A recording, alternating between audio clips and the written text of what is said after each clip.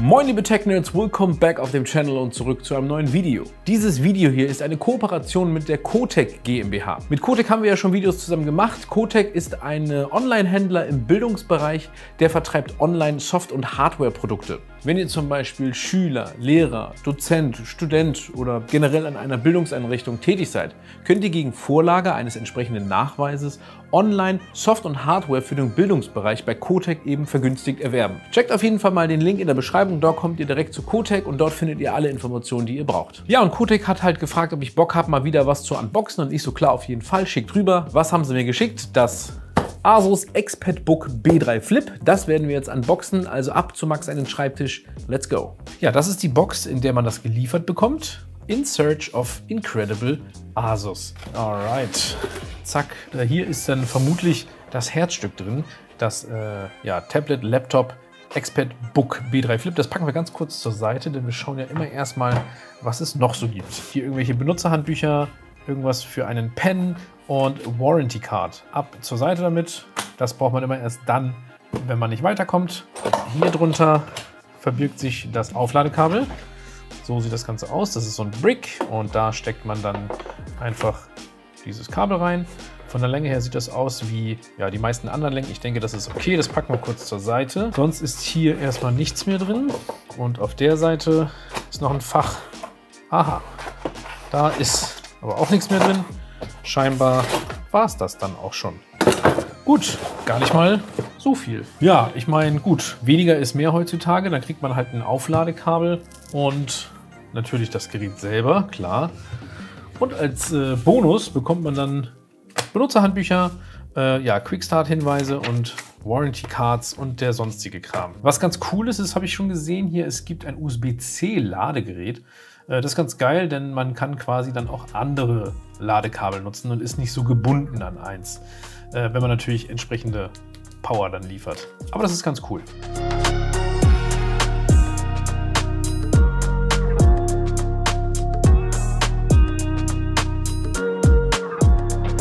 Alright, dann packen wir das ExpertBook B3 Flip mal kurz aus. Das, zack, holen wir hier mal raus.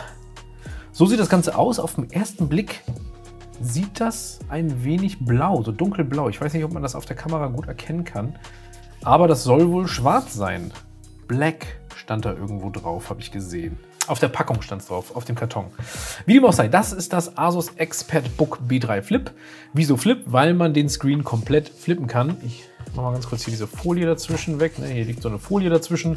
Muss ja mal alles gut gesaved sein. Man kann das Gerät nicht nur wie ein Laptop quasi normal aufklappen, sondern man kann es komplett bis auf die andere Seite quasi umklappen. Deswegen ExpertBook Flip, hallo, hier könnt ihr mich sehen. Und äh, dann kann man hier drauf rumtippen. Äh, mit dem integrierten Pen, den zeige ich euch gleich, kann man dann hier quasi auch schreiben mit. Und dann, äh, ja, hat man quasi ein Tablet. Kuckuck. Das hier ist die Tastatur, kann ich auch mal zeigen. Hat ein ganz nices Feel. Die sind sehr, sehr äh, dünn, die Tasten. Haben auch wenig Travel Distance, also der Druckpunkt ist sehr angenehm quasi, wann sie auslösen. Das fühlt sich ganz gut an. Also man kann das Ganze ein bisschen runterdrücken, aber es ist in Ordnung. Ich stelle das mal richtig hin. Man kann das hier so ein ganz bisschen durchdrücken, aber das ist völlig in Ordnung. Fühlt sich jetzt nicht irgendwie billig oder sowas an. Trackpad, auch einen angenehmen Klick. Gut, dann zeige ich euch einmal ganz kurz die Anschlüsse des ExpertBook B3 Flip. Okay, auf der Seite hier haben wir zuallererst, na, wo sind wir da? Den Pen, da ist quasi dieser Asus Active Pen drin. Active, weil ich glaube, der wird da drin geladen. Das schauen wir uns gleich mal an. Dann haben wir hier den USB, ach Quatsch, das ist kein USB, sondern HDMI 2.0a.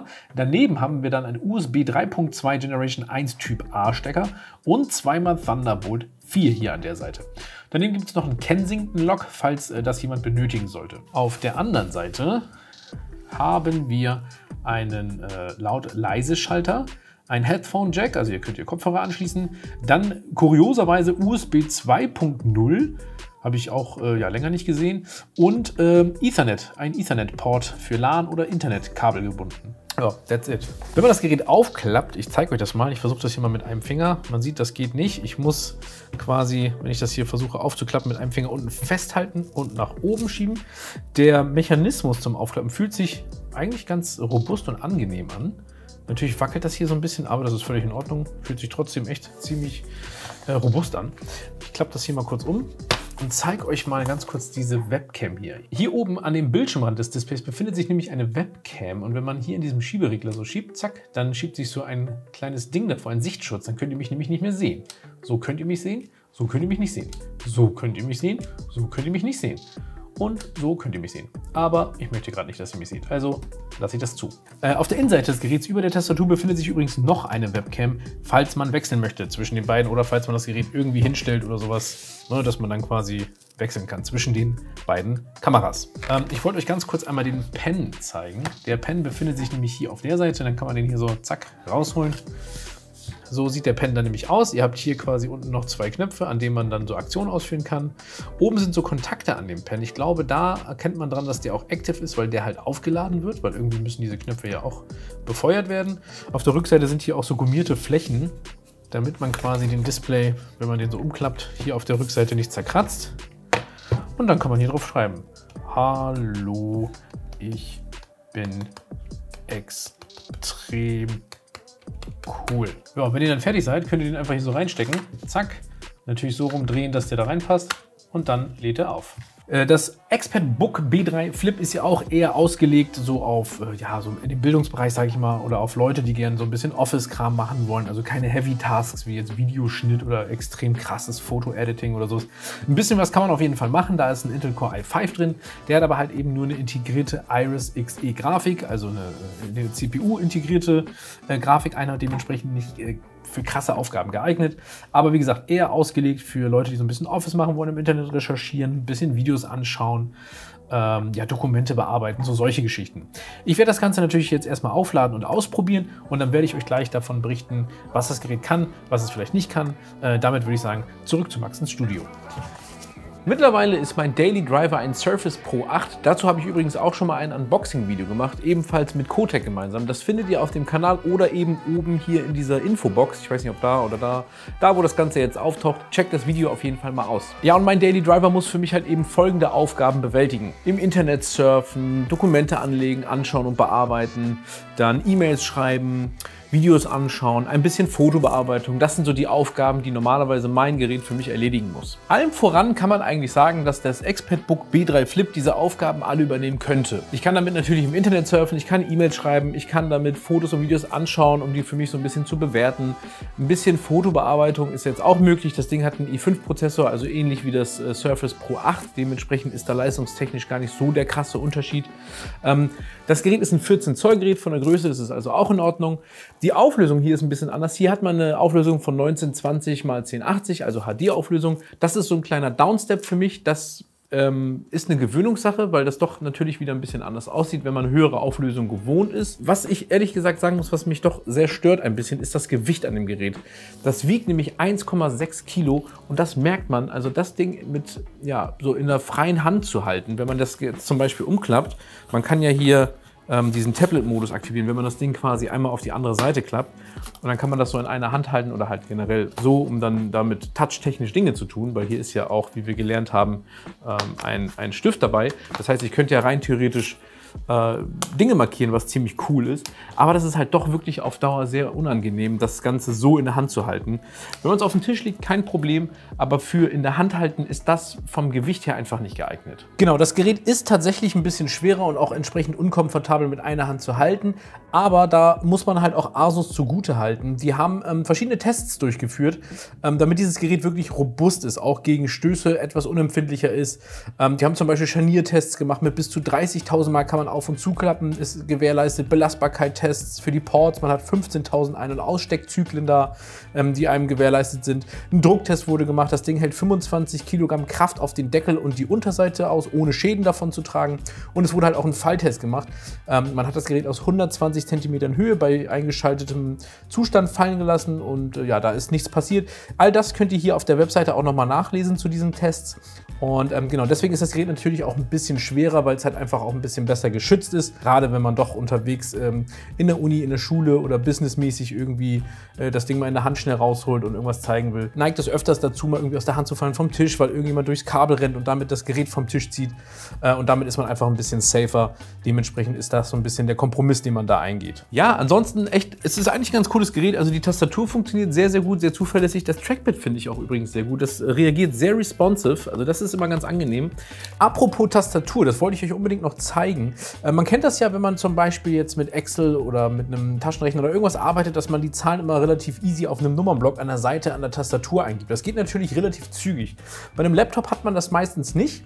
Ähm, da gibt man das Ganze dann über diese Tasten hier oben ein, was doch manchmal ein bisschen unkomfortabel ist. Und da hat sich Asus was ganz Cooles einfallen lassen. Und zwar geht es hier um das Numberpad 2.0. Wenn ihr hier auf dieses Symbol oben rechts bei dem ähm, Touchpad gedrückt haltet, also einfach nur so drauf äh, halten quasi, dann erscheint auf diesem Touchpad, zack, ähm, die Zahlen, wie, wie eine Art Nummernblock. Das heißt, man kann darüber dann die Zahlen eingeben und damit wesentlich schneller und komfortabler arbeiten. Und trotz der eingeblendeten Nummern kann man trotzdem das Touchpad normal bedienen, also die Maus quasi steuern.